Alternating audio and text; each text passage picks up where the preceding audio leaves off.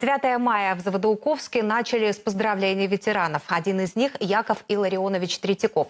В 1948 был призван на службу и отправлен на Западную Украину.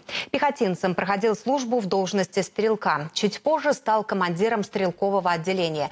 Участвовал в боевых операциях с 1949 по 50 год. Прошел от Сарны до границы с Чехословакией.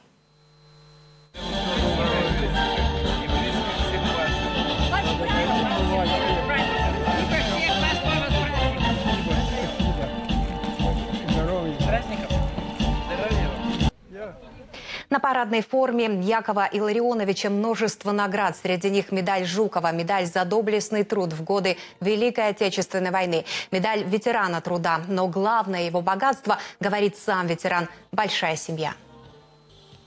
Всего 28 правнуков, так вот приехали, внуки. Ага. Все, они каждый раз, как праздник какой, все, все не забывают, все здесь.